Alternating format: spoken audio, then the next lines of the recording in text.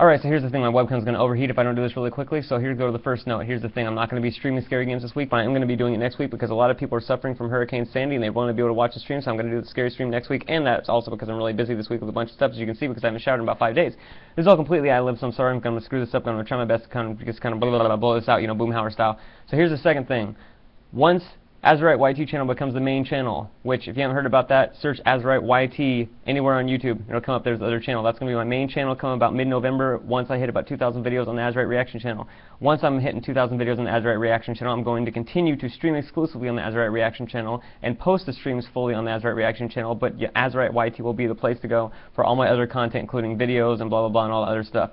So, no more videos on Azurite Reaction once I switch to the Azurite YT channel, just full streams. The full streams are still going to be chopped up into episodes which will be posted on Azurite YT. Going to the next point, from this point on, all my prior streams and all my future streams will be publicly posted on Azurite Reaction. This is because of changes that I have to do, blah, blah, blah, stuff like that. So it's going to have to be public on here, which means that I'm going to hope that you'll still watch the individual videos on Azurite YT once they're posted and on Azurite Reaction for the time being while they're still up of all the stream videos.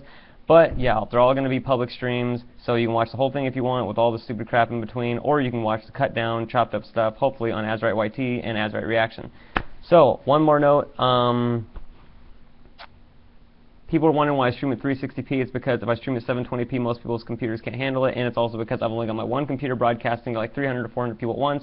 Trying to stream 720p that way is going to result in a whole lot of lagginess for a whole lot of people. So that's why I stream at 360p. I record it locally at the same time too, which has a lot of draw on my computer. Can't really do anything about that. But Hopefully in the future, if I get a better computer and internet connectivity speeds increase, I'll be able to stream at 720p. I'm also going to try and do more 720p stuff on the new account. And if you want to know what new stuff I'm going to be doing in the new account, because there will be a few changes for the better to make stuff kind of more professional, but also more interesting to look at, while still keeping things really friggin' stupid and silly and fun and all that stuff. I'm going to have a video about that stuff, and that's about it, and I don't really know what else. and I'm really to take a shit because I haven't fucking shit now in about a fucking day because I've been holding it because I've been traveling all over the place, and that's about how the fucking goes.